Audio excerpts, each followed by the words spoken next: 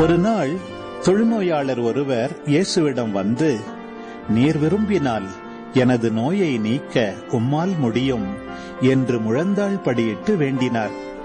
இயேசு அவர் மீது பரிவு கொண்டு தமது கையை நீட்டி அவரை தொட்டு அவரிடம் நான் விரும்புகிறேன் உமது நோய் நீங்குக என்றார்.